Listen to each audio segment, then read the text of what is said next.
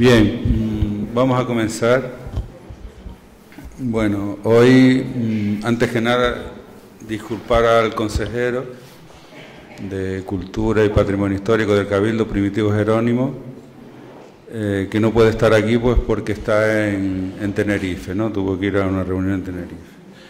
Eh, yo simplemente comentarles que eh, pues esta es la última actividad que hacemos por el décimo aniversario de la apertura del Museo Arqueológico Benoarita, que pasado mañana, eh, el 30 de abril de 2007, pues abrió sus puertas por primera vez. Todas estas actividades las hemos hecho con motivo de, este, de esta efeméride Hemos, eh, en estos cuatro días hemos procurado traer una, una, serie de actividades pues variadas y yo creo que eh, muy interesantes. Difícilmente, se los digo aquí, a lo mejor cuando pasen otros diez años, eh, vamos a poder reunir una, una cantidad de investigadores y de de, exposiciones y proyecciones de la calidad que hemos traído en estos cuatro días, ¿no? porque es complicado, la verdad, conseguir a esta gente. ¿no? Entonces, desde la exposición del martes sobre la alimentación benarita, eh, la charla que hubo sobre la cultura egipcio de Egipto, eh, ayer fue el documental de Canarias Amasí y hoy acabamos pues con eh, uno de los hallazgos más importantes a nivel mundial que se han producido en los últimos años sobre el tema de la, de la evolución del hombre. Entonces, eh, la verdad que es un privilegio que esté aquí Daniel García. Yo desde luego si me lo hubieran dicho hace unos cuantos años ni, ni me lo hubiera imaginado, pero tengo que decir que Daniel está aquí y por eso está Nuria, gracias a que Nuria eh, conoce a, Daniel, que forma parte de, un equipo multidisciplinar que, ha, como les decía, protagonizado uno de los hallazgos más importantes de los últimos tiempos. Y gracias a la amistad de, de Nuria y la predisposición de Daniel, eh, que llevábamos más de un año intentando que viniera a La Palma y por diferentes razones no, cuadraba, pero esta vez dijimos que tenía que estar y además cerrar estas pequeñas jornadas. Eh, además Daniel, como ven, muy joven, un, este, investigador eh, profesional que en dos semanas va a defender su tesis doctoral, que seguramente la va a aprobar, vamos, es decir, que en dos, en dos semanas va a ser doctor que se dice que, es la máxima distinción a que aspira cualquier licenciado. ¿no? Entonces yo sin más, pues darle las gracias que esté aquí, la enhorabuena por su trabajo y eso, yo creo que quien la más indicada para presentarlo es Nuria Álvarez, que bueno, la mayoría de ustedes la conocen, es, arqueóloga de aquí de La Palma y está haciendo su tesis sobre eh, los ritos funerarios de cremación benoarita.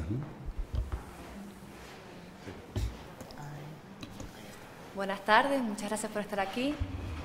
Pues nada, yo les voy a contar un poquitito la trayectoria académica, profesional de Daniel. Eh, Daniel es licenciado en Biología por la Universidad Autónoma de Madrid en el 2012.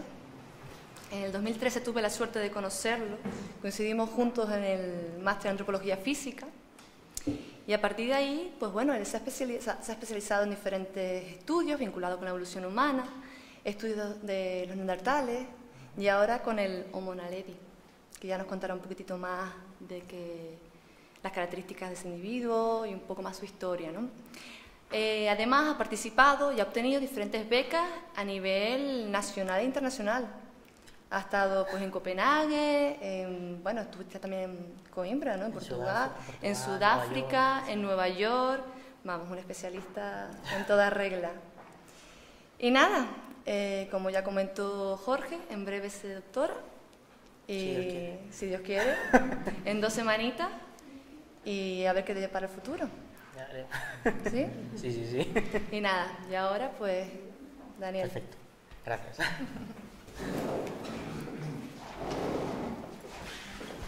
voy a, voy a intentar hacer la charla de pie porque estoy un poco más cómodo, voy a utilizar el micro.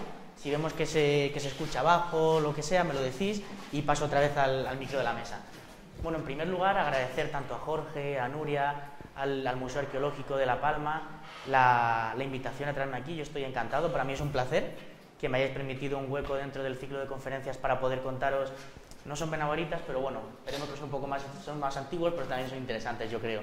Y, voy a contaros durante este rato pues todo el descubrimiento de la especie Monaledi, es la especie más recientemente descrita de, de homínido y voy a contar todo el proceso del descubrimiento, el estudio y los trabajos más recientes que estamos haciendo sobre, sobre las diferentes características de esta especie que, como, como, ahora veremos, tiene, tiene mucho que decir. Bien, para que veáis un poco el índice que voy a seguir durante esta presentación, lo primero que voy a hablar es para que veáis un poco el contexto así amplio de evolución humana, de dónde ocurre la evolución humana, en qué parte se da, por qué se da en esos sitios, en concreto el caso de África del Sur, que es donde encontramos a Monaledi, para que veáis un poco el contexto de dónde viene esta especie.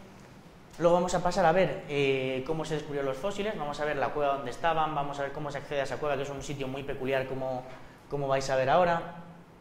Y vamos a ver las, lo primero que se hizo fue el llamamiento a los arqueólogos, fue como ahora veremos un, un proceso de selección abierta donde todo arqueólogo interesado podía, podía echar la candidatura para ir a excavar esta cueva. Luego el estudio de los restos, el, trabajo que hemos hecho concretamente nosotros en, el Laboratorio de Morfometría Virtual de Madrid, que hemos hecho con los restos de Homo naledi, y luego diferentes estudios que están, que, están ahora mismo, que están ahora mismo saliendo. Bien, en primer lugar, la evolución humana ocurre básicamente en África. El ser humano es africano y toda la evolución de los homínidos ha ocurrido en África fundamentalmente en dos puntos. El primer punto es África del Este, en Kenia, Tanzania y Etiopía. Y el segundo punto donde, ocurre, la evolución humana es en África del Sur, en Sudáfrica. Estos son lo que se conocen como eh, zonas de hominización, o más, comúnmente llamados son las cunas de la humanidad. Son tanto en África del Este como en África del Sur. Pues bien, ¿por qué? ¿Qué ocurre con África del Este? Pues con África del Este ocurre que en esta parte que he trazado aquí en color amarillo está lo que se denomina el Valle del Rif, que el Valle del Rif básicamente es una separación de dos placas tectónicas que se están moviendo.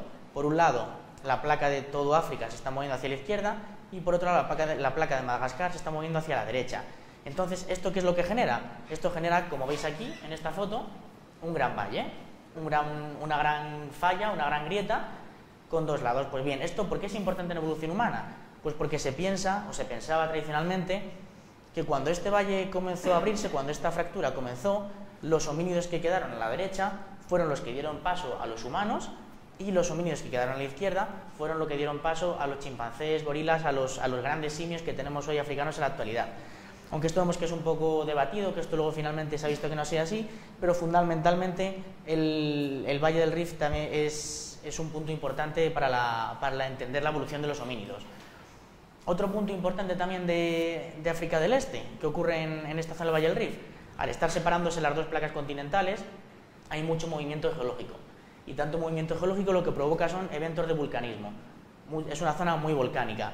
Y esto, esta zona tan volcánica, ¿por qué es importante para la evolución humana? Pues bien, porque esta, las cenizas volcánicas que salen cuando las erupciones y se depositan sobre los huesos en su momento, estas cenizas se utilizan muy bien para datar los fósiles. Es decir, si tenemos un homínido hace dos millones de años, había vulcanismo en esa zona y las cenizas de ese volcán quedan depositadas en ese fósil, esas cenizas nos van a servir muy bien para datar y para, saber cuántos años tienen esos fósiles.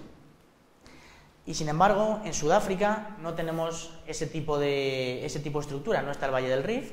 De hecho, el clima es muy diferente. Aquí el clima es un clima más de sabana, muy seco, y en Sudáfrica sería un clima que sería más semejante al Mediterráneo en el sentido de que hay, hay estacionalidad, hay más vegetación, etc.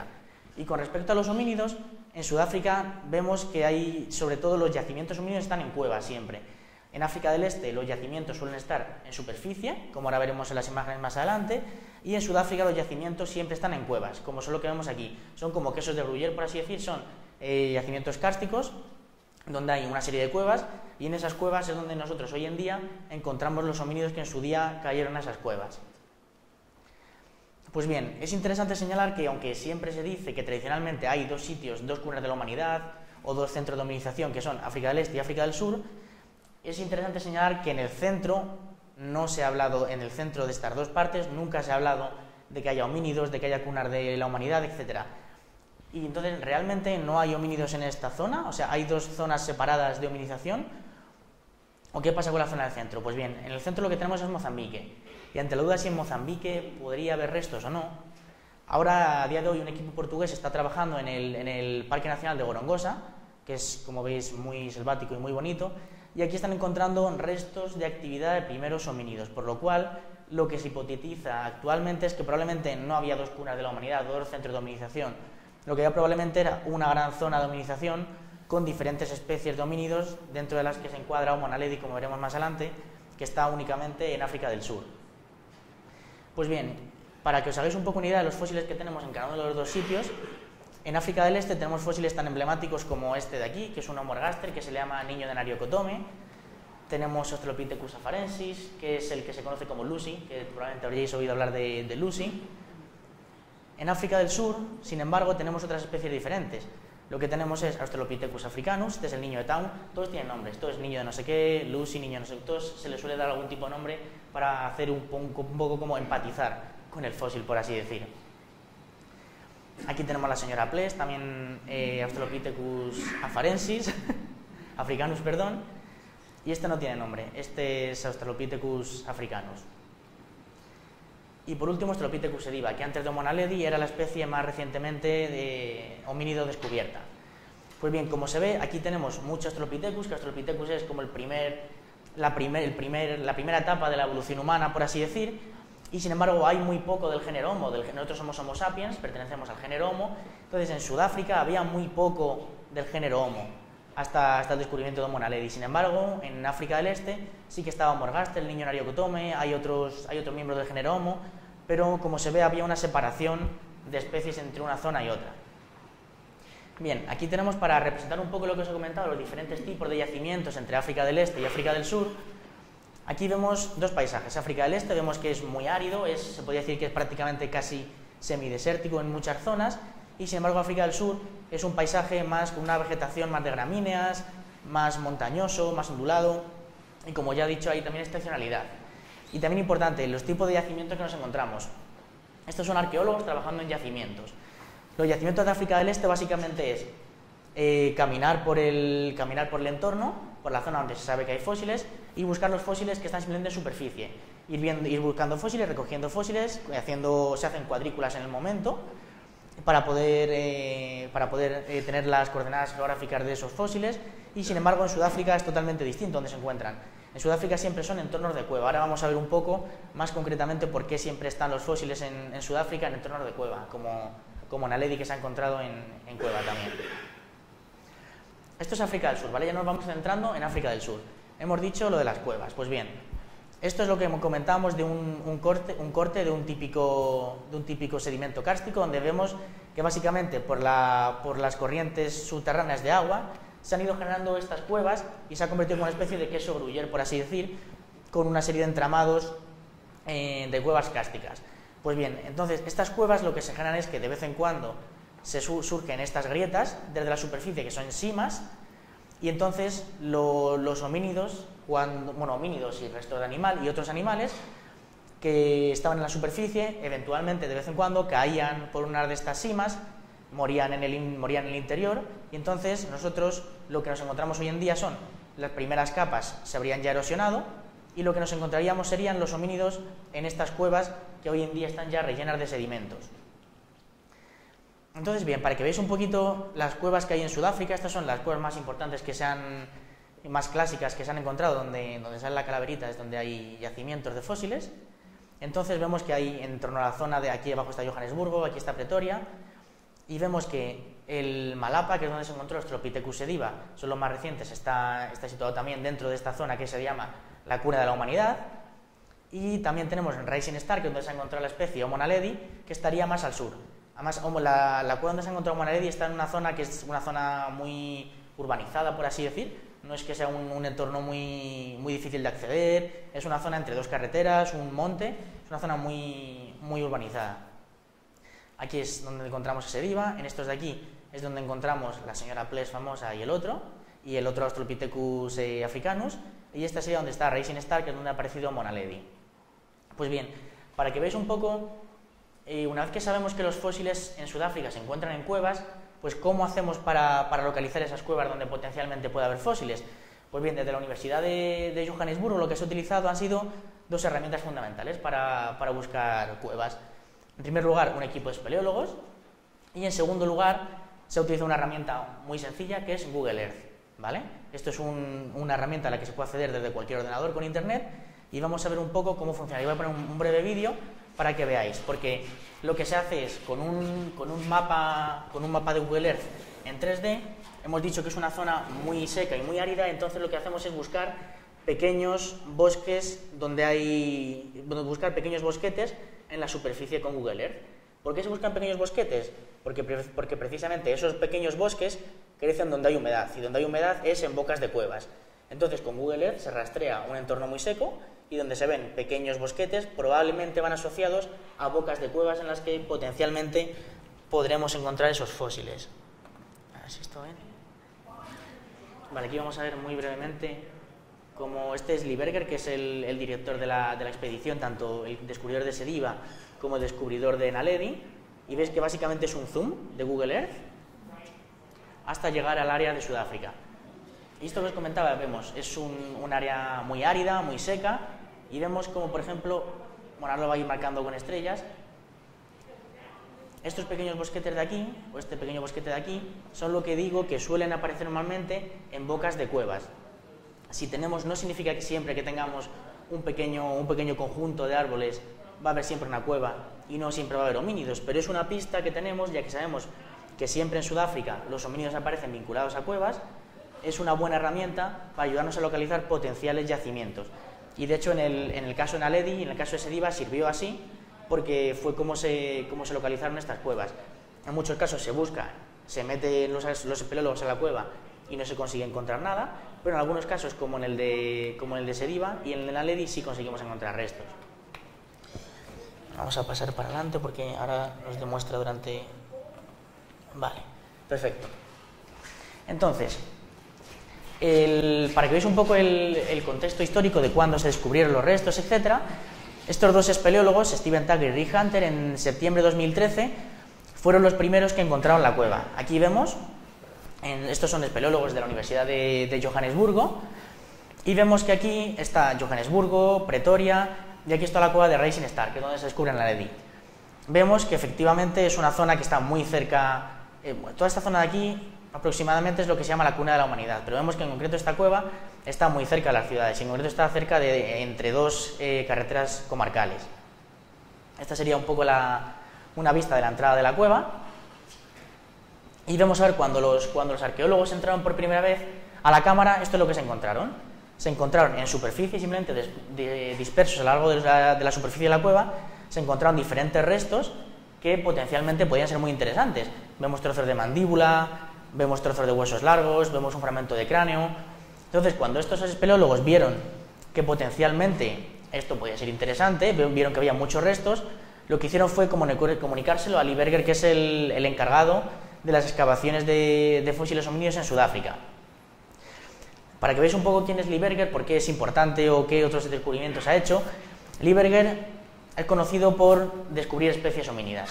En su carrera de momento ha descubierto tres especies homínidas, le gusta mucho explorar, le gusta mucho buscar nuevos yacimientos y en concreto sus trabajos han permitido descubrir la especie Homo floresiensis, que está en el este en el sudeste asiático, o la especie que también comentaba, Australopithecus sediva. Este, esta persona es la que ha participado en el descubrimiento de ambos y ahora también en el descubrimiento de la especie de, de Homo naledi. Bien, entonces, ¿qué ocurre cuando, cuando los espeleólogos le enseñan a Lee los fósiles y le dicen que hay potencialmente mucho material allí que se puede sacar?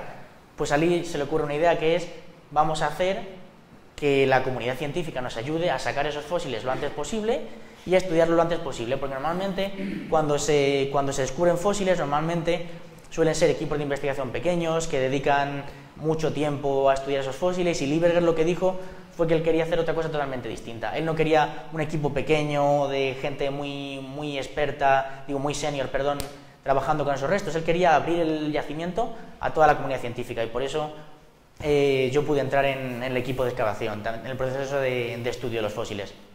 Pues bien, lo primero que hizo fue buscar financiación, hace falta dinero para, hacer una excavación, y consiguió buena financiación de National Geographic, de, la Cuna de la Humanidad, del gobierno de Sudáfrica, etc. Y entonces vemos que el, 13 de septiembre se descubren los primeros fósiles y el 7 de octubre, en cuestión de un mes, se hace un llamamiento a toda la comunidad para decir que necesitan gente que saque esos fósiles de la cámara. Entonces, bien, dice que, lo que, necesita ayuda de toda la comunidad científica, que necesitan individuos para sacar esos fósiles que tengan unas buenas cualidades, tanto paleontológicas como arqueológicas. Aquí empieza a decir cosas un poco raras, dice que necesita gente pequeña, ahora veremos por qué necesita gente pequeña para sacar estos fósiles, y que preferiblemente no sean claustrofóbicos. Ahora os voy a poner un vídeo para... y entendéis por qué tiene que ser gente pequeña no claustrofóbica.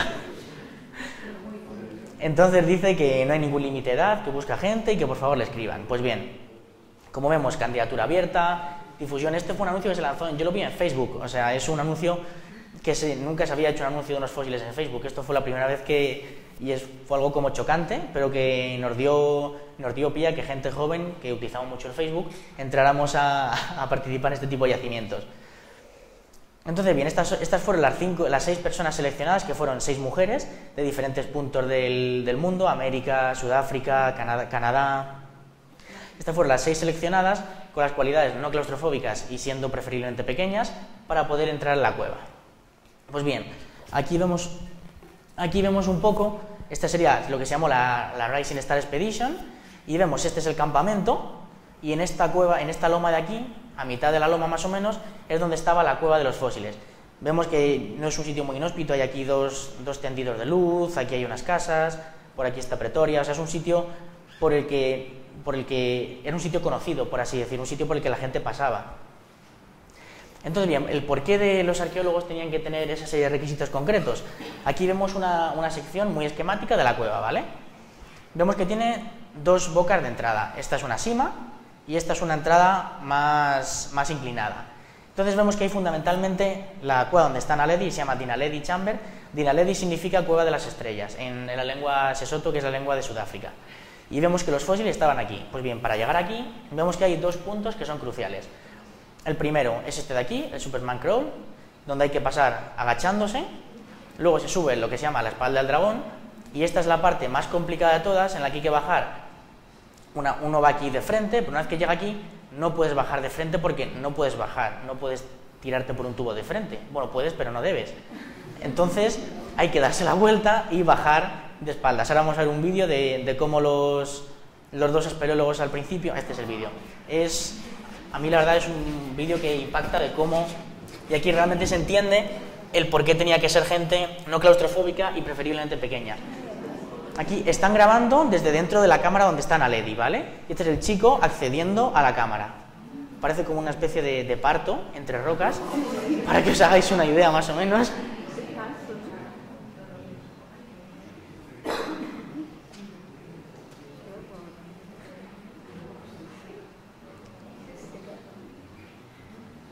Lo consigue, consigue entrar al final.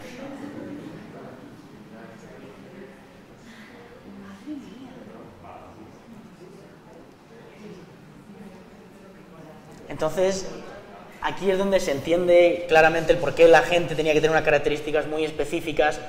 Yo no, yo no quepo por ese agujero, por ejemplo, y luego también la claustrofobia, etcétera, es, es complicado acceder, acceder a esta cámara.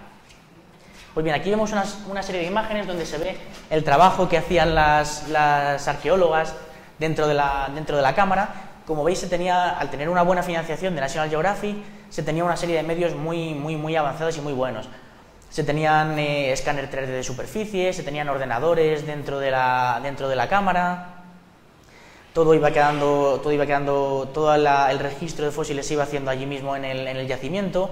Y luego además desde la superficie todo era monitorizado, había cámaras dentro y entonces como también es un sitio medianamente peligroso, el, ya que es pues claustrofóbico, etcétera, todo tenía que ser bien monitorizado desde arriba para cualquier tipo de problema poder asistir a la persona este es Lieberger.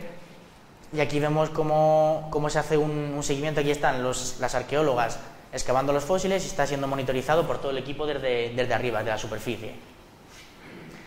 Entonces, bien, una vez que se consiguieron sacar los fósiles, que sacaron 1500 fósiles, 1500 restos de, de fósiles de la cueva, que son muchos restos, vemos que esto ocurría en septiembre, el descubrimiento de los fósiles, la excavación en octubre, y entonces a mí fue cuando en, en enero del año siguiente me dice una compañera, oye, pues si te interesa me mandan esto. Digo, bueno, pues vamos a echar un vistazo. Y era la segunda parte, por así decir. Aquí ya no hacía falta ser, no ser claustrofóbico ni ser pequeño, aquí cualquier persona podía echar la candidatura. Ellos buscaban por científicos jóvenes, ellos hablaban de una, una colección muy buena, que por favor que hubiera una difusión amplia del, de la candidatura y que ellos prometían que los fósiles iban a ser muy buenos, con mucho impacto y que también necesitaban gente que estudiase diferentes partes anatómicas para ir a Sudáfrica, estudiar los fósiles y hacer una serie de publicaciones acerca de los restos. En este momento no sabíamos ni que iba a ser una especie nueva, ni sabíamos nada, era un poco misterio todo, donde simplemente decían muchos fósiles, colecciones sin precedentes, eh, publicaciones en revistas científicas, y dije, bueno, pues vamos a intentarlo. Mm, siempre hay que intentar, nunca me dan becas, pues hay que intentar a ver esta, a ver si suerte. Pues entonces, ya os digo, el 7 de octubre, el 24 de febrero, me comunican el resultado de la selección. Dicen que efectivamente tengo que ir un mes a Sudáfrica a estudiar los restos de Homo naledi. Entonces comienza el pánico, porque hay que irse un mes a Sudáfrica un equipo extranjero, a estudiar fósiles que no sabemos, son misteriosos, aunque es una colección sin precedentes. Y entonces vamos para allá. Los billetes, universidad y a trabajar. Esto es donde trabajamos. Ahora vamos a ver un poquito más en detalle dónde estaba la colección. Pues bien, esto se, organizó durante el, mes de mayo en la Universidad de Witwatersrand, que es la Universidad de Johannesburgo, y se organizó un mes intensivo, desde el 1 de mayo aproximadamente hasta el, hasta el 30, o sea, todo el mes completo metidos en esta sala estudiando los fósiles, básicamente. Todas estas vitrinas que se ven aquí es donde estaban los fósiles guardados, estas naranjas son de Sediva y el resto son de, son de. Entonces lo que se hizo estuvo muy bien organizado el estudio, lo que dijeron fue hacer una serie de equipos, que cada equipo estudiase una parte del cuerpo, yo estudio la caja torácica, no es de las partes más interesantes, pero hay que estudiarlo también. Y entonces se organizó en la selección de cráneo, los dientes, el miembro superior, las manos, el tronco, el miembro inferior, los pies, el desarrollo del desarrollo vital y la taxonomía, que es la descripción de la especie, puramente. Entonces fue una, fue una experiencia, fue, fue, muy bonita porque fue una experiencia muy intensa, un mes trabajando con 40 personas metidos allí, nada más que mirando los fósiles, estudiando, eh, compartiendo, colaborando y tiene unos resultados muy, muy buenos. Entonces, vamos a ver ya dentro de, este, dentro de este trabajo el trabajo que nos toca hacer nosotros, que como decíamos que es la reconstrucción de la, de la caja torácica de este, de este espécimen. Vamos a ver, hay una serie de, ya os digo, no son los restos más bonitos porque son costillas y vértebras, no son tan llamativos como los cráneos o las manos, etcétera, pero son cosas interesantes. Por ejemplo, encontramos dos vértebras que, tienen, que articulan entre ellas, están aparecieron en conexión más o menos anatómica, que eso es importante por, lo que, por un factor que luego comentaremos, que aparezca esta conexión atómica, y luego también una serie de, costillas. Esta costilla también aparecía en conexión con estas vértebras. Estas son las costillas más diagnósticas, para que os hagáis una idea de un poco la dificultad de estudiar este material. Y luego había mucho más material, ya os digo, 1500 fósiles, más o menos unos 300 eran de costillas y de vértebras. Entonces, aunque los restos son muy fragmentarios y vemos que, era muy difícil el estudio, aquí vemos una, a través de la morfología de las costillas y de las vértebras, vemos una hipotética reconstrucción de la caja torácica de este individuo. Lo que vemos en, color rojo son eh, modelos 3D de los fósiles originales y lo que vemos en color azul son imágenes especulares, es decir, cuando teníamos la izquierda hacíamos la imagen especular y conseguíamos la derecha. Y entonces, a través de técnicas de morfometría geométrica, lo que hacíamos era hacer una estimación de cómo sería la caja torácica de este individuo, que como vemos básicamente es una caja torácica que es como muy ancha en la parte inferior y más estrecha en la parte superior, que probablemente esta morfología es más similar a la que vemos hoy en los simios tipo chimpancé, etcétera, que es una caja torácica amplia en la parte inferior. Pues bien, entonces después, después de todo el año de trabajo, enviarlo a diferentes revistas que nos lo rechazaran, enviarlo a otras revistas que lo rechazaran, conseguimos finalmente publicar el artículo que salió en septiembre del año pasado. Entonces se publicaron dos artículos. El primero fue describir la especie, donde básicamente cogíamos todas las partes del cuerpo y las describíamos en un contexto de anatomía comparada con otros, con otros fósiles y con otros primates, y también el contexto geológico. ¿El contexto geológico qué es? ¿Cómo esos fósiles llegaron allí? Veremos que es un tema, es, es una hipótesis muy bonita, pero es una hipótesis un poco controvertida. El cómo los fósiles de Homo naledi llegaron hasta la cueva tan recóndita, tan recóndita que hemos visto. Bien, pues finalmente el resultado es este. Son más, aquí están puestos los más representativos y son más de 1500 fósiles de una especie que hemos denominado Homo naledi, porque probablemente creemos que estaría en la parte basal del, del árbol evolutivo nuestro, del árbol evolutivo de Homo. Entonces vemos que básicamente una cosa, una cosa muy interesante que es positiva es que tenemos todas las partes del cuerpo representadas. Normalmente en los yacimientos tanto de África del Este como de África del Sur nos encontramos un cráneo aislado, un cráneo parcial, unos dientes aislados, un fragmento del fémur, un pie, y aquí lo que tenemos son 1500 restos que describen un mínimo de 15 individuos, o sea, había como mínimo 15 individuos metidos en esa cueva cuando, cuando los encontramos. Ahora veremos que excavamos una parte muy pequeñita nada más que de la cueva, probablemente haya mucho más restos y haya mucho más, muchos más homínidos dentro. Aquí vemos una muestra del cráneo, vemos que está bastante, la mandíbula está muy bien preservada, por cierto. He traído esto que tenéis aquí en la mesa, son modelos 3D, impresiones 3D que he traído, por si queréis luego echar un vistazo de primera mano, tocar y ver cómo eran un poco el... He traído, he traído dos cráneos, una mano y una mandíbula, por si queréis ver un poco de primera mano cómo eran los, cómo eran los restos un poco de, de Monaledi. Bien, para centrarnos un poco así en detalles anatómicos que vemos de esta especie, hemos, la hemos clasificado en todo el género Homo. Australopithecus hemos dicho que es más antiguo, más arcaico que Homo. Y nosotros creemos que no es Australopithecus, bueno, estamos convencidos de que no es Australopithecus porque tenemos una serie de caracteres que son muy modernos. Por ejemplo, el cráneo, si vemos el cráneo, tiene una forma muy redondeada, muy globosa y, por ejemplo, es muy similar a este de aquí, que es Homo habilis, o incluso a este de aquí, que es Homo erectus, son cráneos como muy, muy globosos, muy redondeados. Y esto hace, es una de las mayores características que hace que, se encuadre dentro del género Homo. Más cosas que vemos, la mandíbula, por ejemplo, también. Esto sería una mandíbula más, más arcaica que vemos. La diferencia entre mandíbulas arcaicas, antiguas y mandíbulas modernas es que las modernas tienen las muelas pequeñitas y tienen como más forma parabólica, mientras que las mandíbulas más antiguas tienen las muelas, como veis, hay una diferencia, las muelas son muy grandes y vemos que también tienen una forma de U, es como una U, mientras que aquí tiene una forma más abierta, más parabólica. Entonces vemos que en Aledi, en este caso, se asocia más con este individuo, que es un Homo erectus, y vemos que estos dos tienen una forma más moderna, mientras que este, que es Homo habilis, tiene una forma incluso más arcaica que, que Homo naledi. Más detalles anatómicos. Aquí empiezan las cosas también que son, son bastante bonitas, la verdad. Esta mano que vemos se encontró así en el yacimiento, en se encontró en conexión anatómica. Normalmente es muy difícil encontrarse en un yacimiento, es un yacimiento de, un, de, Homo eh, tempranos, que los restos estén tan bien preservados y que se encuentren en esta, conexión. Lo único que falta a la mano es un hueso pequeño, un espacio pequeño negro que veis aquí, que es un hueso que se llama pisiforme, que es un hueso de unos 5 milímetros más o menos. Es el único hueso que falta de la mano, el resto está bien preservada. Y luego que la mano haya aparecido en conexión atómica también es una cosa interesante, porque eso significa que cuando la mano y el individuo obviamente entró en la cueva, estaba entero, probablemente. No significa que nos encontramos un hueso aislado que no sabemos exactamente cómo ha llegado aquí. Aquí sabemos que esta mano y probablemente el individuo que lo tenía entró entero dentro de la cueva. Y bien, esta, esta mano, ¿de qué nos puede informar? Esta es la mano de, la mano de Monaledi. Y esta es la mano de un chimpancé. Vemos que hay muchísimas diferencias. La principal diferencia es la, proporción del pulgar con respecto al resto de dedos. Esto es una mano muy humana. Nosotros tenemos una proporción más o menos como la que vemos en la Ledi entre el pulgar y el resto de dedos. Sin embargo, en chimpancés, que sería lo que se hipotetiza como una mano más antigua porque es una mano que sirve para eh, agarrarse a las ramas, desplazarse por el medio arbóreo, etcétera, sería más de este estilo. Vemos que hay prácticamente el pulgar es prácticamente un tercio del, dedo anular, mientras que aquí sería la mitad o incluso un poco más.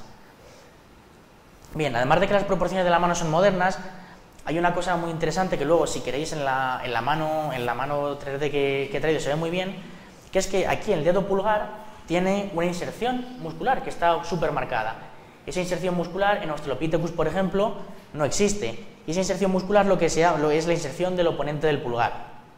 Y esto lo que permite es tener mucha destreza manual. Si tienes mucha destreza manual y haces eh, actividades muy finas o muy detalladas con las manos, si tienes este músculo de aquí muy desarrollado, probablemente vas a tener más, facilidad para hacerlas, probablemente. Además vemos que una cosa muy curiosa, en, la LEDI hay muchos restos y tenemos, creo que son ocho manos, y las ocho manos que hay tienen la marca de inserción del oponente del pulgar igual de bien desarrollada, por lo cual se hipotetiza que tenía mucha habilidad manual. No se han encontrado, también lo veremos luego, no se han encontrado dentro de la cámara ninguna pieza lítica que nos indique si tenía mucha destreza manual para hacer herramientas muy, muy depuradas, etcétera, pero por lo menos sabemos que tiene las características necesarias para poder hacerlo. Bien, otra característica también muy interesante, también tenemos un pie, que también está en conexión atómica, así que tenemos manos, pies, la vértebra que os he comentado antes también en conexión atómica, y esta es la de Naledi nuevamente, y aquí tenemos el de un chimpancé. Vemos una característica muy clara, que es que el dedo pulgar en los chimpancés tiene una, posición, mucho, un ángulo mucho más abierto con respecto al resto de dedos, mientras que en Homo naledi en nosotros, en Homo sapiens, los cinco dedos van aproximadamente en paralelo. ¿Esto qué, esto qué, implicaciones tendría? Un pie este, con esta forma serviría para la marcha bípeda. Probablemente Naledi podía andar bípedo como, aunque probablemente creemos por adaptaciones en el fémur, etcétera, que no podía hacer marchas largas ni correr mucho tiempo, etcétera, pero creemos que la marcha bípeda, lo que es caminar, sin ningún, sin ningún tipo de problema, porque con un pie tipo chimpancé no se puede, no se puede caminar eficientemente. Entonces, un dato también muy relevante o muy interesante de esta cueva es que los 1500 restos que habéis visto, todo la del despliegue de cráneo, dientes, fémures, etcétera, se encontró un área de 80, de 80 por 80 por 20 centímetros de alto nada más. O sea, y la cueva, lo que es la cámara, tiene como metro y medio por dos metros aproximadamente. Entonces están los huesos súper, súper concentrados. O sea, en, esa pequeña área de excavación se encontró muchísimo. Ahí es probable que se encuentre mucho más en, futuras excavaciones. Aquí vemos, una muestra de la cueva, donde vemos, esta es la bajada donde, caía el chico antes, esta sería la zona de aterrizaje donde caen los, arqueólogos, y esto sería toda la cámara, para que os hagáis una idea. Pues el área de excavación es, bueno, no se ve exactamente, pero debajo justo, debajo justo donde pone área de excavación, esta pequeña área de aquí es lo que se ha excavado únicamente. Entonces, todo el resto de la cueva es material que potencialmente puede ser excavado y estudiado.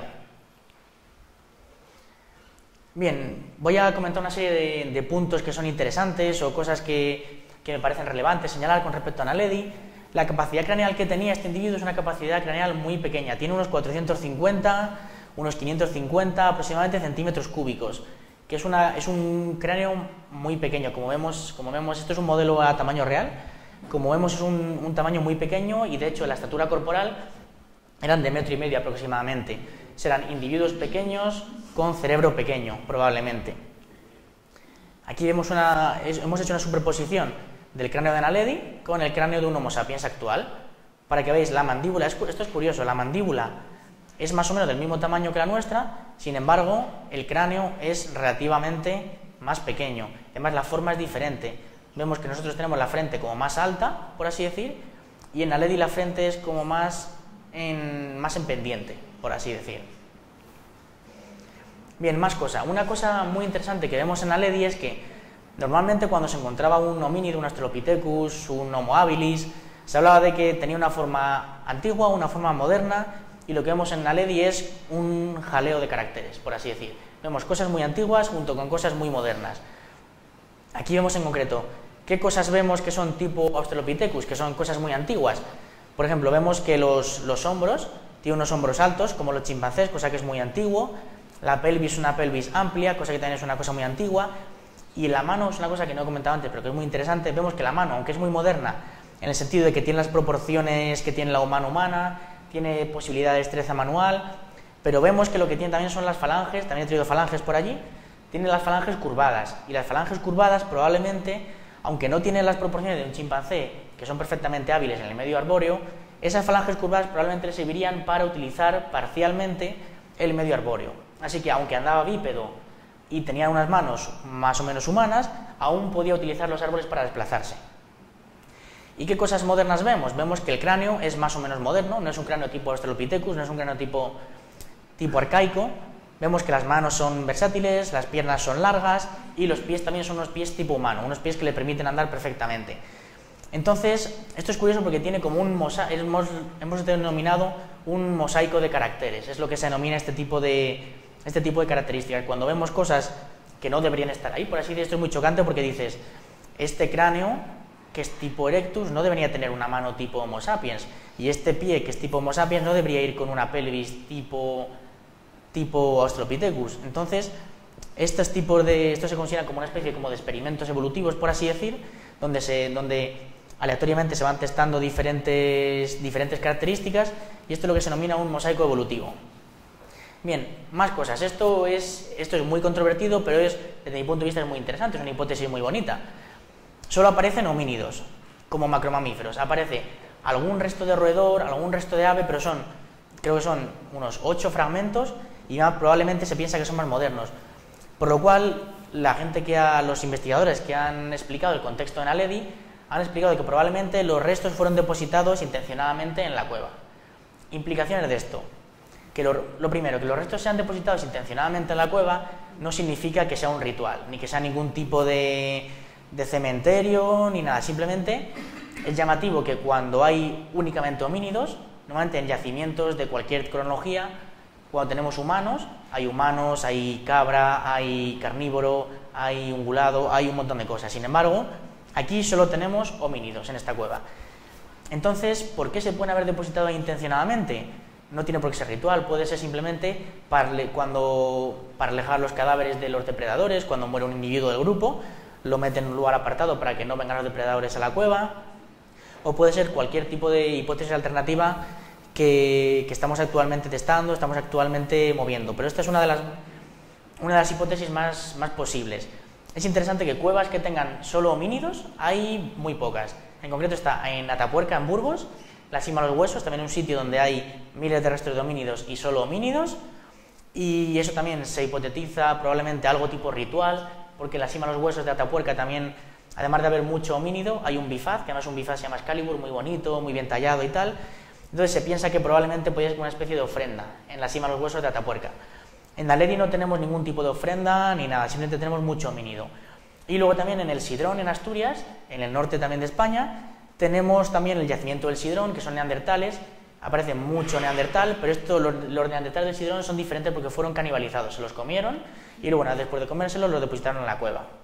Así que eh, no nos vale para hacer referencia a Naledi.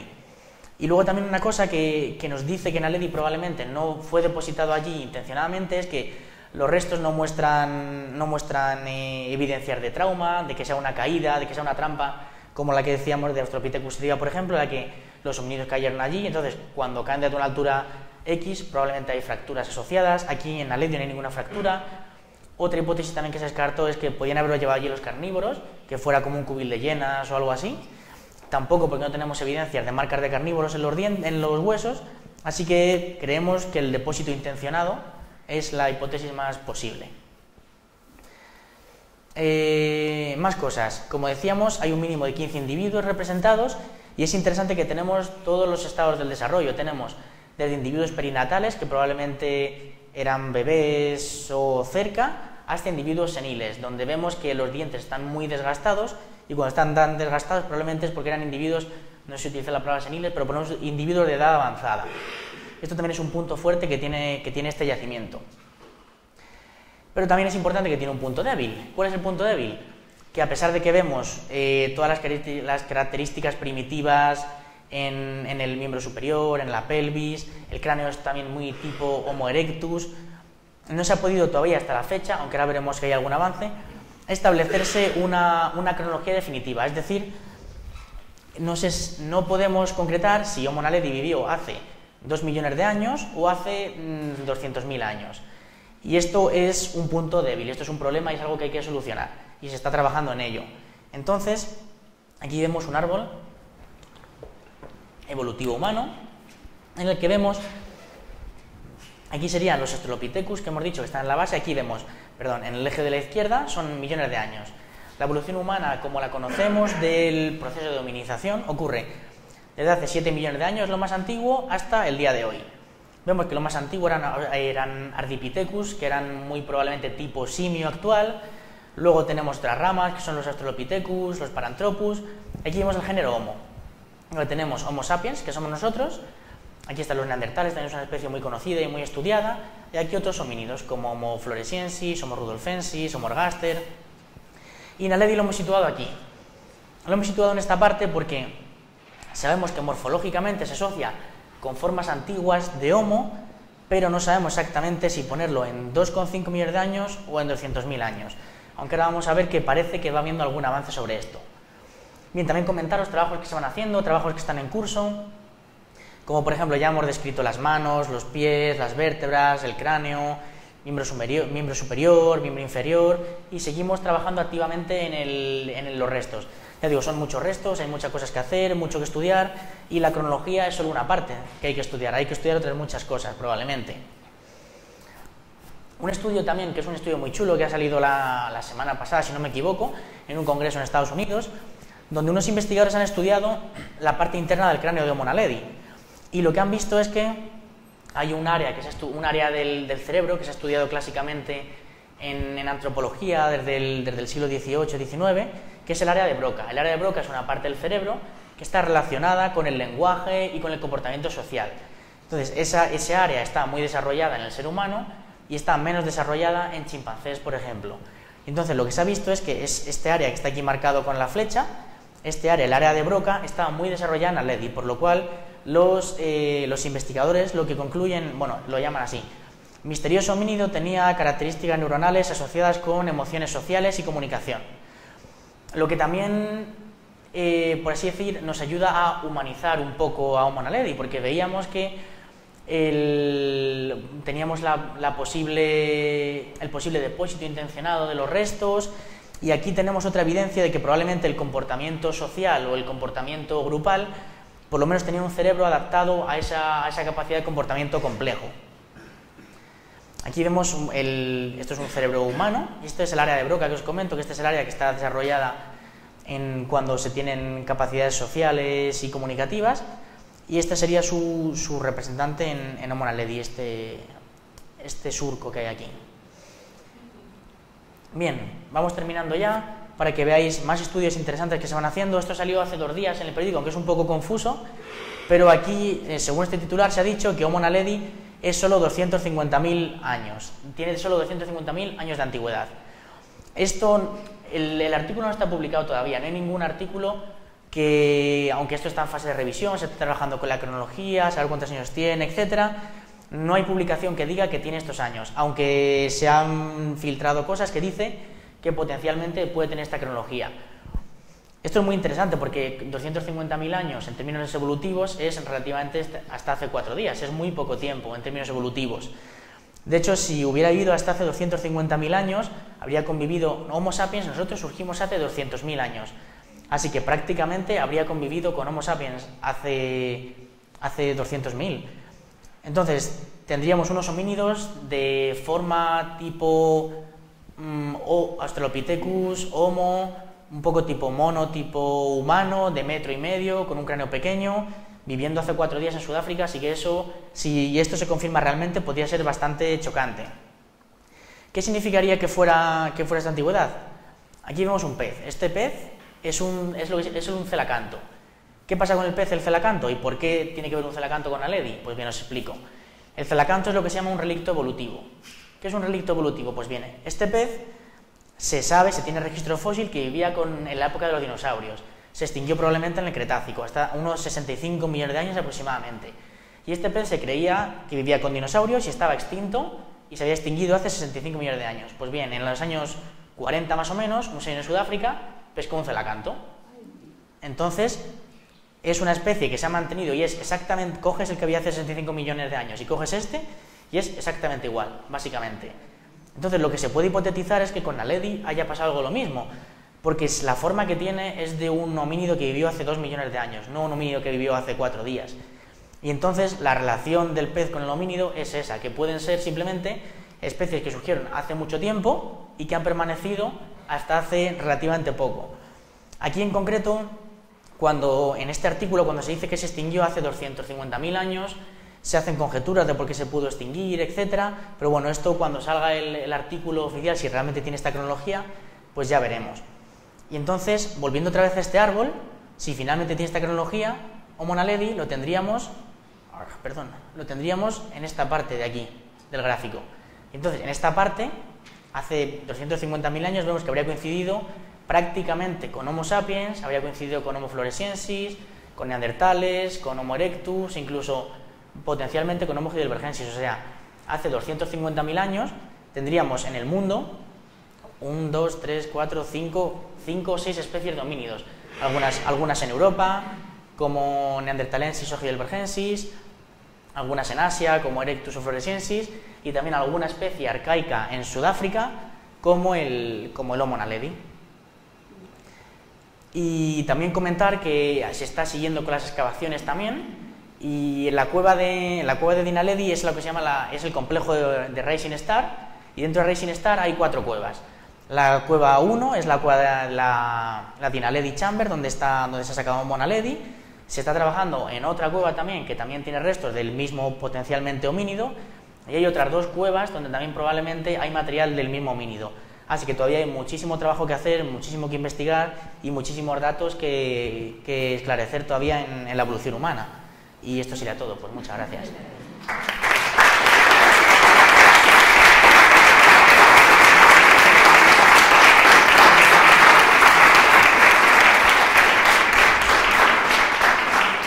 Si, tenéis preguntas, dudas, contribuciones, comentarios, consejos.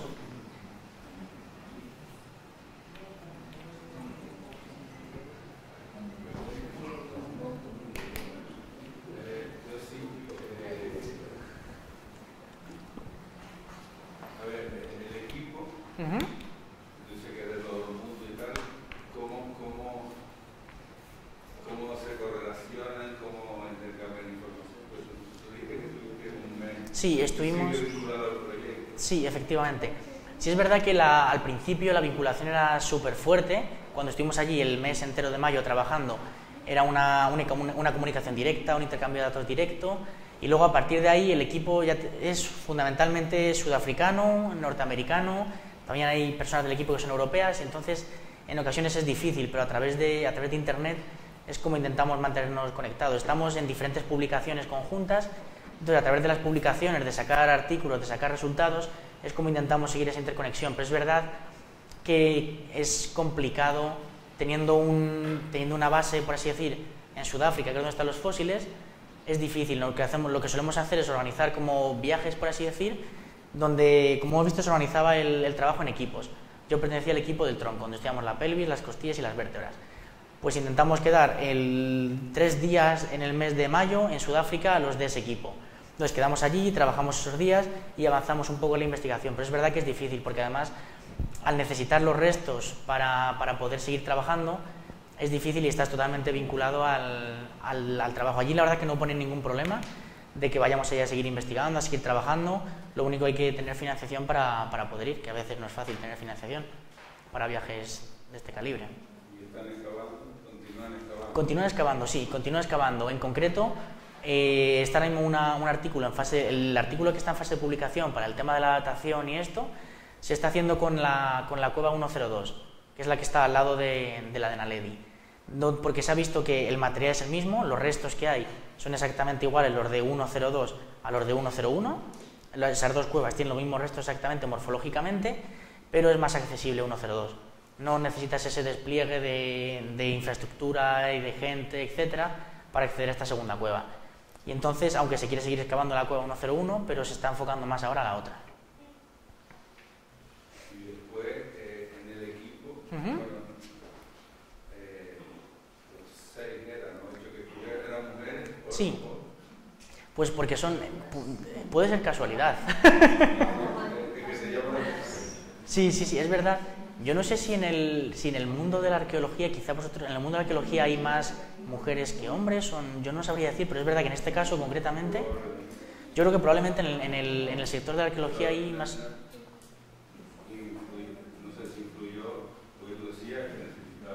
Sí, también... Sí, personas menudas, con buenas, con buenas, con buenas, eh, con buena experiencia arqueológica y paleontológica. Y también pues, pues coincidió que los seis, los seis individuos seleccionados, candidatos seleccionados, fueron mujeres. Es verdad que había muchos candidatos y también porque al, al al investigador, se lo preguntaron esto también de por qué han sido seis mujeres y por qué no, no había ningún hombre que fuera válido para, para, este tipo de trabajo. Y dijo que de hecho al principio eran cinco mujeres y un hombre, pero que el hombre al final tuvo una serie de problemas y no pudo incorporarse al equipo, pero que al principio iban a ser cinco mujeres y un, y un hombre.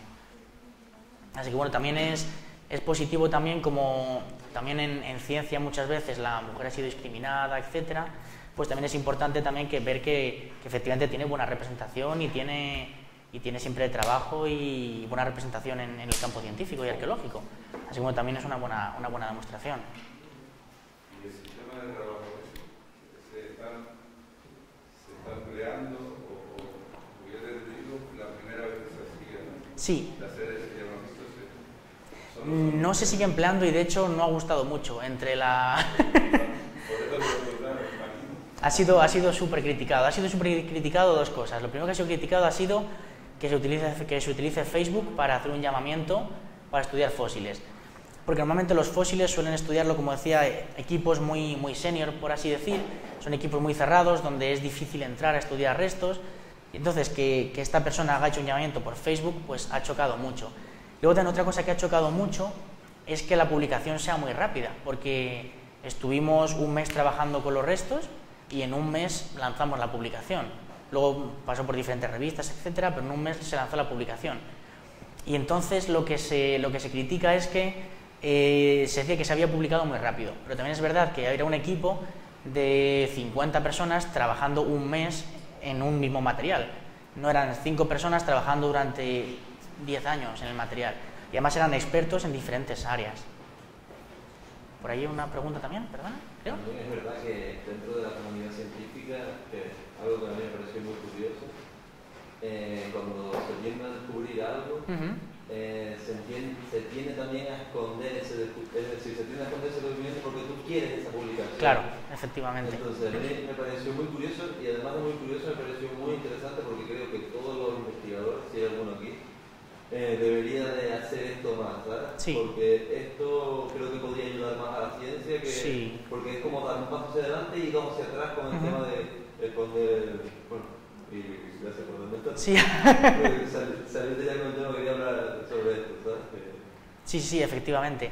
Además, es verdad que o sea, fue algo que fue controvertido en su día, pero igual que tuvo muchos, o sea, básicamente los, los detractores de esta, de esta corriente fueron la gente que tú comentas que esconde los fósiles, pues fueron los que no les gustó nada esta idea, pero toda la gente, además está muy bien porque nos ha permitido a gente como yo, que cuando llegué aquí era un estudiante doctoral recién empezado, pues trabajar con fósiles, describir una especie y es algo, pues la verdad es que es algo, joder, impresionante, la verdad. Y si no, sería algo inaccesible totalmente, nada más que para los mm, un número reducido de eruditos, por así decir, que son los que tienen acceso a ese material. Así que, como comentas, sí debería ser una. Además, debería ser una cosa más extendida y además es muy ventajosa porque te permite eh, trabajar con 30 investigadores y compartir ideas, compartir opiniones, porque a lo mejor yo tengo un resto de costilla, que es un resto pequeñito, y puede parecer una falange a lo mejor. Y yo que no trabajo en falanges puedo estar 10 días mirando ese fósil pensando si es una falange o no. Sin embargo, si tengo al lado a un experto en falanges a nivel mundial, se lo llevo, me dice, ah, sí, sí, es una falange, trae, gracias. Y entonces es mucho más fácil el trabajo, mucho más dinámico y todo el mundo aprende mucho más. Es verdad que en este caso es un poco más costoso porque llevar a 30 personas a Sudáfrica cuesta dinero, pero si, si tienes financiación o si tienes las ayudas necesarias, por supuesto, esto es, yo creo que es, ideal, efectivamente. ¿Y Sí, sí, sí. ¿Qué le motivó a este señor a hacerlo así? Si es diferente a cómo se hace habitualmente. Yo creo que lo que él quería un poco era efectivamente cambiar un poco el paradigma de trabajo con fósiles, porque él sabía que iba a ser una cosa criticada, porque él además es una persona ya senior que ha trabajado con muchos yacimientos, con muchos fósiles, y estaba un poco, está un poco cansado de siempre tener que recurrir al mismo proceso, muy tedioso, muy poco colaborativo, y ellos era un experimento total, era un experimento social, básicamente, y le salió muy bien, desde mi punto de vista le salió muy bien porque se publicaron muchos resultados, salieron un montón de cosas súper interesantes, pero también ha tenido una serie, de, una serie de problemas, como es lógico. Pero sí, su motivación principal era eso, el, el experimento social y el cambiar, intentar cambiar las, las cosas. Y, de hecho, la revista en la que fue publicada, no fue publicada la revista Nature o en Science, que son como las revistas clásicas, por así decir, porque además estas revistas tenían, esto es una crítica un poco así que hago, que tienen mucha política también detrás, este tipo de revistas. Además son revistas de pago, revistas caras, etc. Y la revista donde se publicó finalmente es una revista de un impacto bueno también, pero es una revista de acceso abierto, donde todo el mundo puede acceder a la revista, no hay que pagar nada, estés en cualquier punto del mundo te la puedes descargar, y también además puedes ir, eh, una cosa también que no he comentado, que también es muy chula en este sentido, los fósiles que se, estos fósiles que tenemos aquí son modelos 3D, se pueden descargar gratuitamente en Internet. una vez que los fósiles se publicaron, lo que hicimos fue, los escaneamos, los subimos a Internet, para que así desde universidades, centros educativos, centros de investigación, con las técnicas que hay, que hay hoy en día de escáner 3D, impresión 3D, tú te descargas el cráneo de Mona Levy, lo imprimes y lo puedes utilizar en didáctica, clases, etcétera. Y también eso es una cosa que, para nada, o sea, como lo que comentaba el compañero también de los antiguos eh, investigadores celosos de sus fósiles, que eso no los estudian nadie más que ellos, pasar de eso a lo, publico, lo escaneo y lo subo a internet para que se lo baje quien quiera, es como una revolución del, del paradigma. Pero a mí me parece muy positivo, porque eso permite que hoy en día, que hoy estemos aquí con los moldes 3D y que los podamos ver, que podamos tocarlos, que en las universidades se lo puedan descargar para imprimirlos, medirlos. yo creo que está muy bien, yo creo que es el camino a seguir. Desde luego me parece algo muy, muy positivo, desde luego. Estoy de acuerdo contigo, pero para eh, nosotros, bueno, no te puedo decir, nosotros aquí, es la propia administración hace una acabación y te da un año para hacer la memoria. Ah, vale. Porque nosotros generalmente, uh -huh. la acabación de la cucaracha, la que la estudian muy, y a veces se la manda un tipo, por supuesto, de los humanos, es imposible. Claro. Entonces, lo que tú planteas, eh, vamos, ojalá tuviéramos. Claro. Que eso requiere Dinero, efectivamente. Este señor tiene la ventaja de que al ser un- una persona que era senior, se había curtido mucho en el campo de paleoantropología, podía, podía acceder a National Geographic, a un montón de, de financiación. Si se puede, es lo mejor, pero yo entiendo que obviamente es difícil llevar a n número de personas a un sitio a estudiar fósiles o estudiar restos. Pero si se puede, sobre todo, el, el colaborar, el colaborar en ciencia, yo creo que es una cosa que es básica y que es una cosa que a veces cuesta y que a veces también por problemas de políticos, entre diferentes grupos de investigación, etcétera, no se hace, pero que yo creo que es muy positivo, me parece a mí.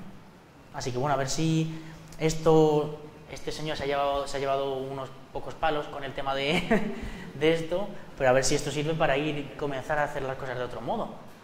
Yo creo que tienen que cambiar ustedes. Sí, estamos, estamos en ello.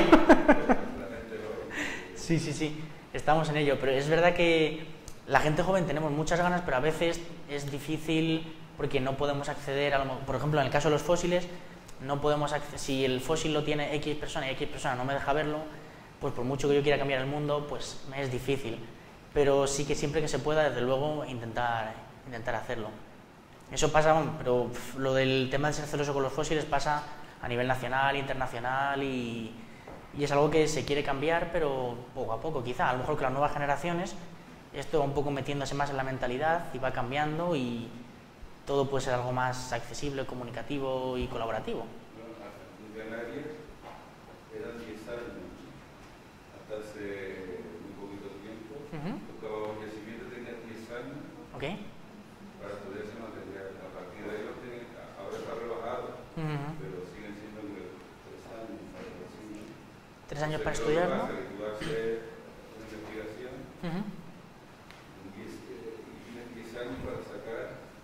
Claro. está obsoleto, Claro. cosas, Sí, sí, sí, entiendo. No.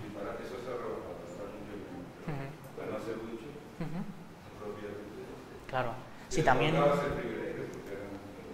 Hombre, eso es un privilegio, efectivamente, sí. Y también a veces lo que comentabas, la propia, la propia burocracia, la propia administración, a veces es una pelea constante con... Porque a veces las trabas no te las ponen no te las pone el entorno científico, sino que te las pone el entorno administrativo también para poder acceder a fósiles, etcétera. Y también eso hay que tenerlo en cuenta. También es un factor importante, sí.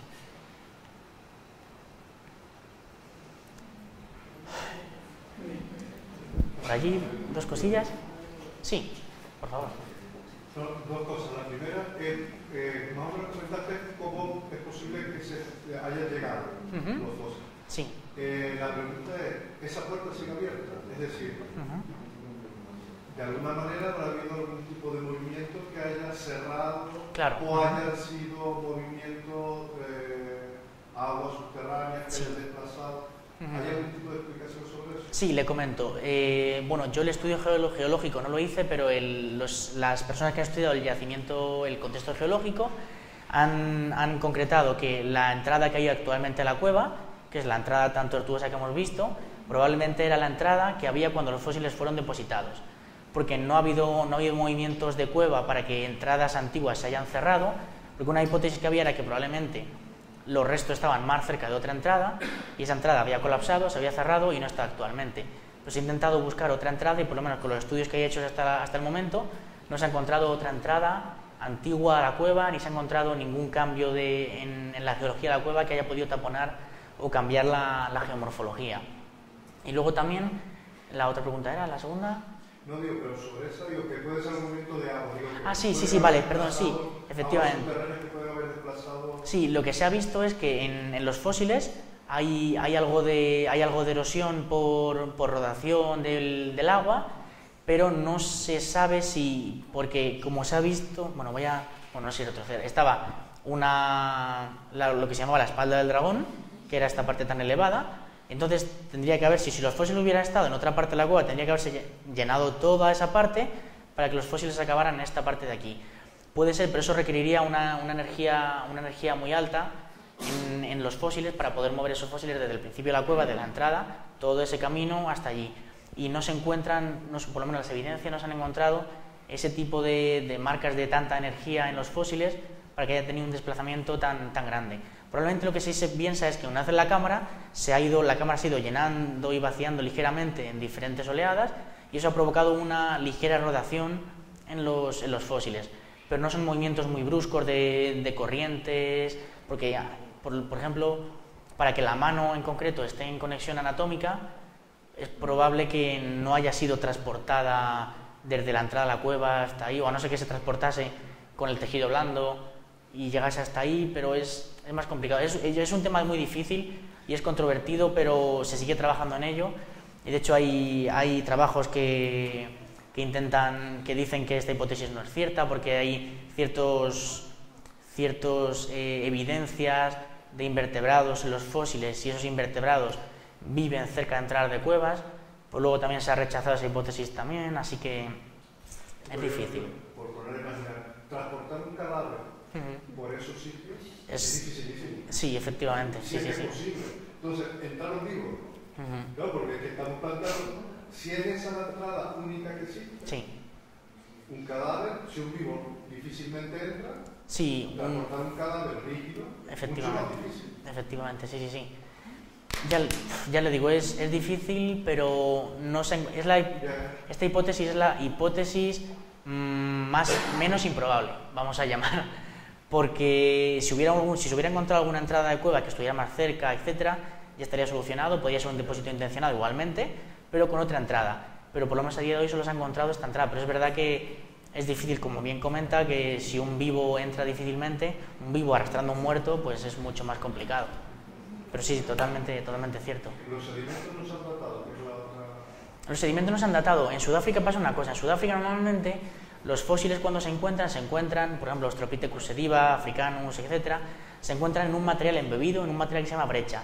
La brecha es básicamente las cuevas que vimos al principio, se rellenan de sedimentos detríticos, eso se endurece y se queda como una especie de, caparazón de sedimento calcáreo, está muy, muy calcificado alrededor del fósil.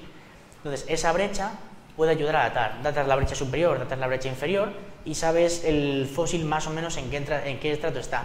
Sin embargo, estos fósiles que veíamos aquí, me voy a retroceder un... A ver. Estos fósiles que veíamos aquí están en una especie como de barro.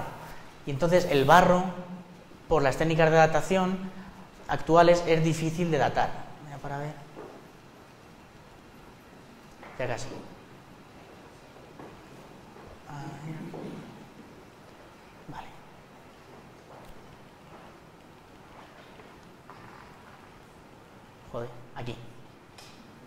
Se ve que muchos de ellos están en superficie directamente y luego están como en esta especie de, arena muy, muy suelta, muy húmeda, tipo barro, y este material en concreto es difícil de datar. Las dataciones que están haciendo ahora están haciendo con electrospin de resonancia sobre los dientes, que los dientes, en el manto de los dientes se puede utilizar esta técnica de datación y es la que está empleando, pero este, este material por uranio torio, por el carbono 14 no, porque es probablemente más antiguo de 50.000 años, y por uranio torio este tipo de material no da, no da resultados, no da resultados por, según los estudios geológicos. Así que se está trabajando en ello, el carbono 14 se probó, pero no salía nada, porque el carbono 14 data hasta 49.000 años aproximadamente, 50.000, y si es más antiguo de eso, el carbono 14 no funciona. Entonces, está, hasta donde yo sé, se está utilizando el electrospin de resonancia en, en dientes. Y probablemente dentro de poco saldrá publicado algo de datación. Y había otra pregunta. Sí, yo quería preguntarte sobre esto, pero bueno, ya lo has contestado. Eh, otra cosa que me resultó curioso fue que enviaste un artículo, el artículo que has publicado a varias revistas y no te lo aceptaron. eh, ¿Qué razón? Porque hay una especie de tipo editorial que Sí, efectivamente. hay, hay razones, es que entro un poco aquí en temas escabrosos, hay razones eh, mm, reales y razones un poco más mm, morales, por así decir. Entonces, el proceso, esto se mandó primeramente a, se, se probó a mandar a, a, Nature, a la revista Nature, y ahí había cinco revisores en los que eh, cuatro estaban contentos con el trabajo y uno de ellos decía que sin datación no se podía, no se podía publicar.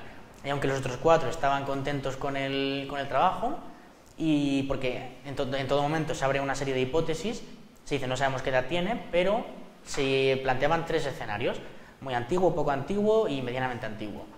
Y entonces ellos decían que con, esa, que con ese marco estaba bien explicado, pero uno de ellos decía que no.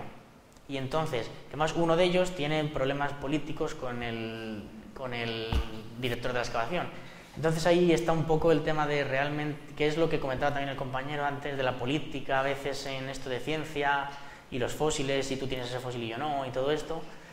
Así que no quiero sonar crítico ni nada de eso, pero bueno, un poco sí lo soy.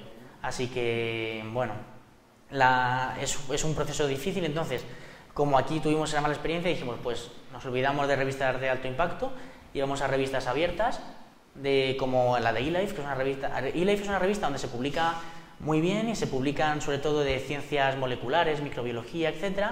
Y fue el primer artículo de otro, de otro tipo que salía, que era un, artículo de evolución humana, de, de, paleantropología.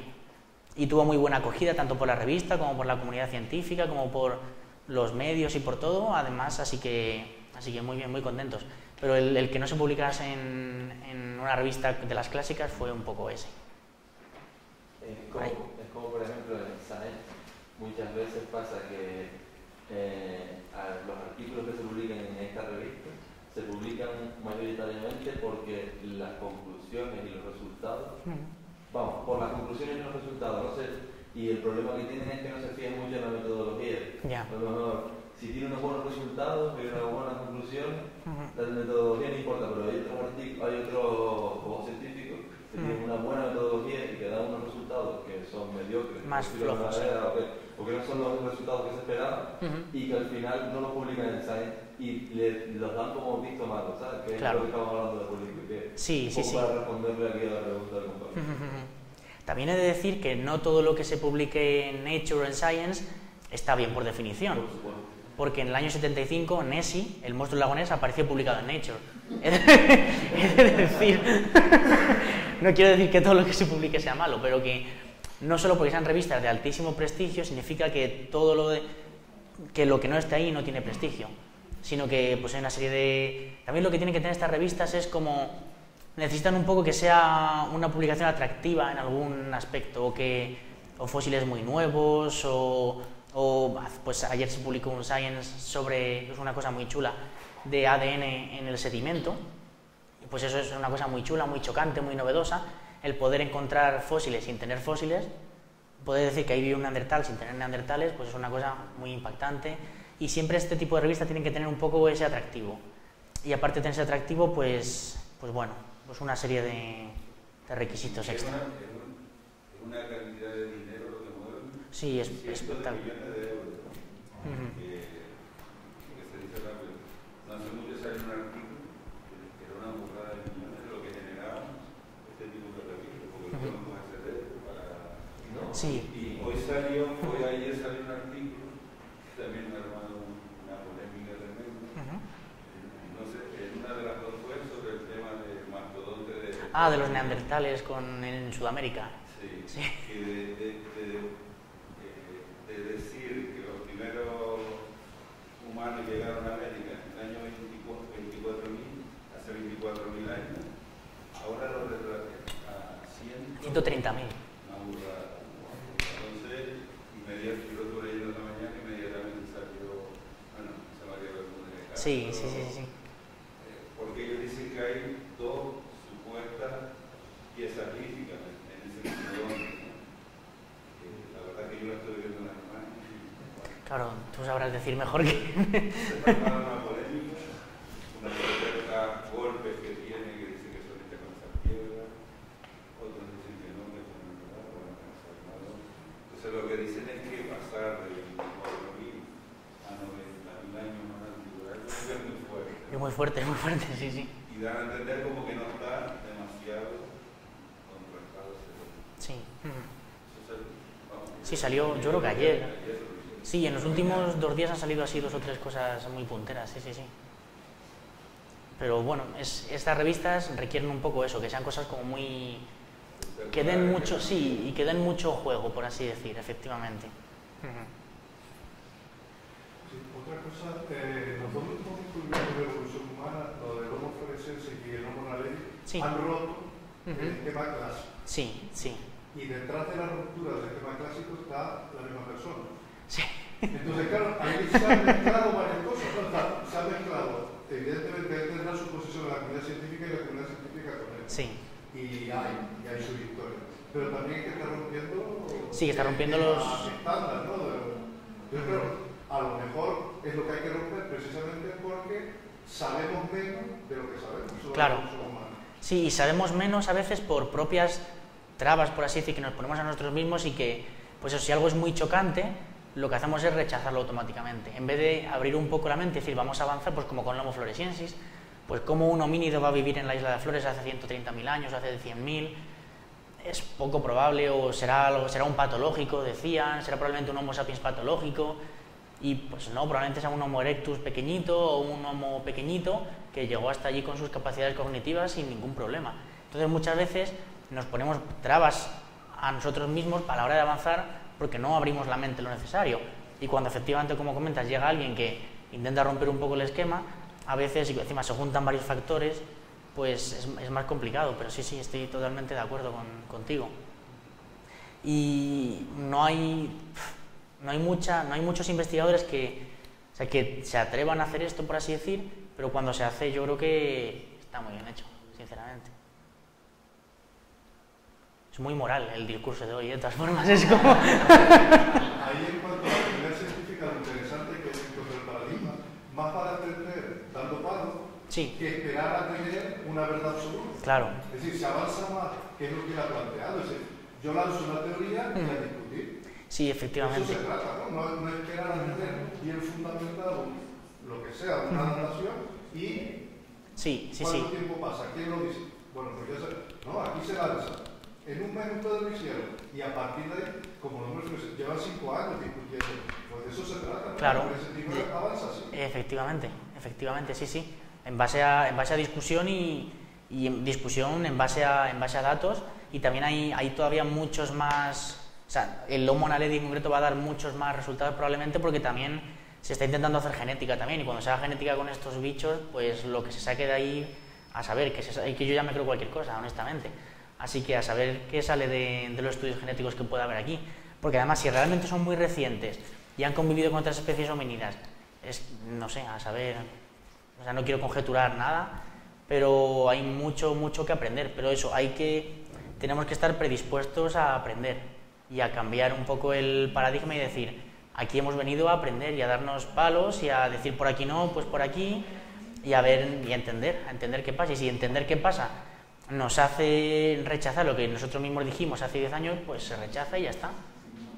Estamos para aprender aquí. El problema del científico es que se ha olvidado de ser científico, ¿no? Ya. la duda ya no, ya necesita la duda, ya lo sé todo. Ya. Sí, sí. Sí, sí, efectivamente. Y además, ahí entramos con el tema de mi fósil es el mejor, mi fósil es el más antiguo porque es mío y todo esto. Que también eso a veces es... Hay cosas que no se saben y que están fuera de la lógica hasta el momento porque no. Efectivamente, y las técnicas avanzan, lo bueno es que las técnicas avanzan a una velocidad súper rápida hoy en día. Y eso igual que, igual que hoy, por ejemplo, hace, ayer salió que se podía encontrar restos de evidencia fósil sin tener fósil, pues no sé, dentro de 15 años, no sé por dónde ponen las técnicas, pero hay que estar, preparados porque el, campo es muy prometedor, yo creo.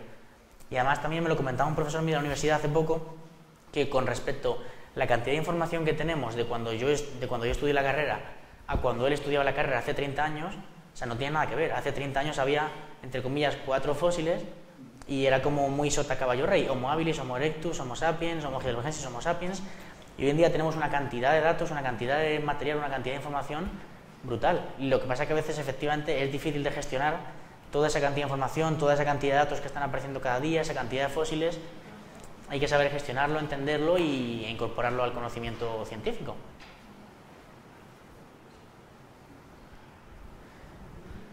Muy bien.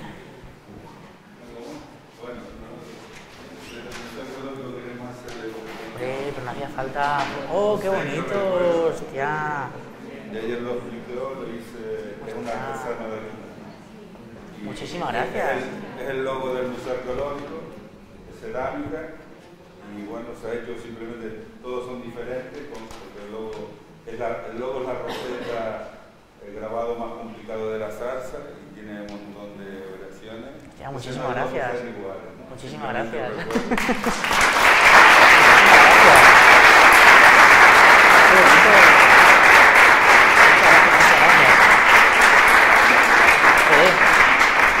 Gracias, de verdad. Una conferencia magnífica, ¿verdad? un tema muy complicado, muy tarde, pero organiza. Muchísimas gracias. Me alegro un montón, muchísimas gracias y encantado de estar aquí. Muchísimas gracias. ¡Qué bonito!